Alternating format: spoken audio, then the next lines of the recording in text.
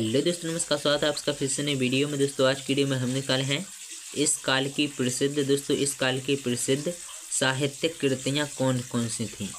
तो दोस्तों, इस काल की प्रसिद्ध साहित्यिक कृतियाँ मृक्षी दोस्तों मृक्षी कटिकम व मेघदूत थी। दोस्तों, इस काल की प्रसिद्ध साहित्य कृतियाँ मृक्षी दोस्तों मृक्षी मृक्षिक टिकम व मेघदूत थी। तो दोस्तों, आशा करता हूँ आप लोगों को वीडियो पसंद आएगी।